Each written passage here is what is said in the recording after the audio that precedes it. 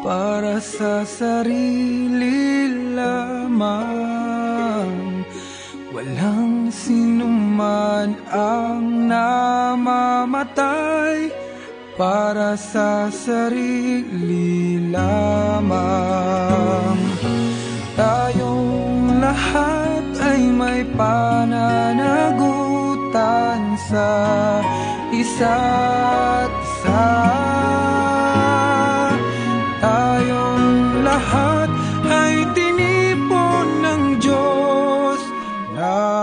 kapiling niya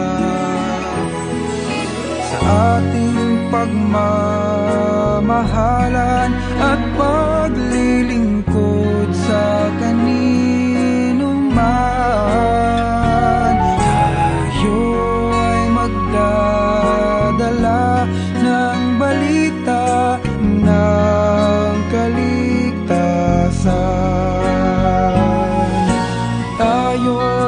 lahat ay may pananagutan sa isa't isa. Tayong lahat ay tinipon ng Diyos na kapiling niya. Sabay-sabay ng